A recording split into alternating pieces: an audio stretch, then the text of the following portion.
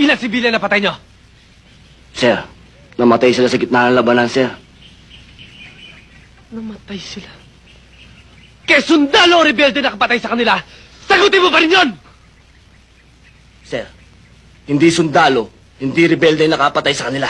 Ang nakapatay sa kanila, yung halip na gera na yan! Kanino ng klase katwiran yan?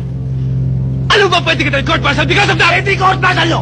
Puro naman yan alam nyo, court martial eh! Ano kasi mga opisyal, ha? Bago ka lang dito! Bago sa lang! Kami, pag namamatayan kami, patakan na namin kasama sa hirap at ginawa! Masakit sa amin yun! Ano kasi puro bite na mukha ka! Sundalo din ako! Kung ano suot mo yung uniform na, yun din suot ko! Kung ano ang sakit na nararamdaman mo pag nawawalan ka ng kasamaan, yun din ang sakit na nararamdaman ko dahil sundalo din ako! Yes, sir!